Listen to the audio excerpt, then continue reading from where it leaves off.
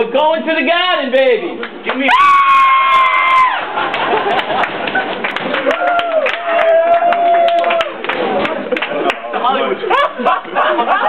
a horror. That's a horror movie. Just brought me out there was, was, was Mr. Freddie Gumps. Freddie Gumps. Uh, Freddie Gumps. He's, he's from Jamaica Plain High School when I first started to coach back in 1968, 69.